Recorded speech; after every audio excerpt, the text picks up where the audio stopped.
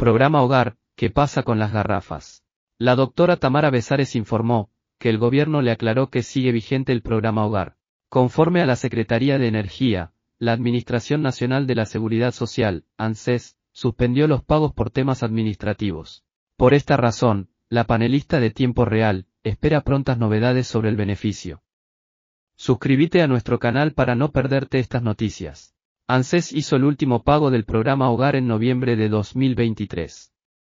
Desde entonces se suspendieron las acreditaciones del subsidio. Las autoridades no habían brindado información sobre la causa de la suspensión hasta el momento. Finalmente, el organismo a cargo del plan le indicó a la doctora Tamara Besares, que se debe a tareas administrativas. Debido a que se informó que sigue teniendo vigencia, se espera que muy pronto se haga un relanzamiento del programa Hogar. El beneficio se otorga a familias que habitan viviendas sin conexión a la red de gas natural.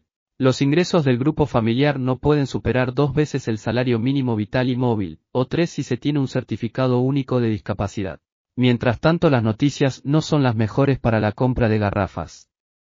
La Secretaría de Energía eliminó el tope al precio de las garrafas con la resolución 216-2024. Por esta razón, cada empresa podrá fijar el valor que considera pertinente. De acuerdo a las autoridades, el mercado fijará el valor, sin embargo, el organismo estableció precios de referencia. Los mismos son de 8.500 para la garrafa de 10 kilogramos, 10.200 para la de 12 kilogramos. Y 12.750 pesos para la de 15 kilogramos. Si esta información te pareció útil, por favor compartila para que más gente la vea, y regálanos un me gusta para ayudarnos a crecer. Gracias.